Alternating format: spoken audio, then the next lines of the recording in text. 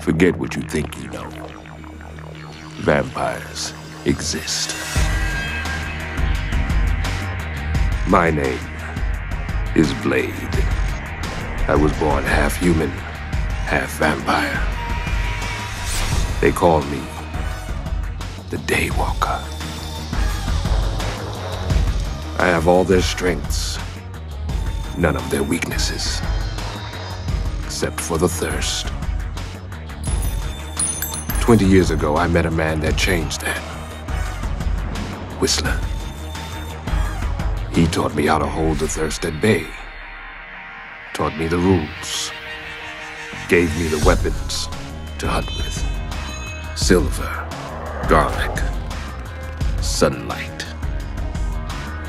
Two years ago, he was attacked. They took him and turned him into the thing I hate most. I should have finished him off. Now I'm hunting him. I will find him, and nothing will stand in my way.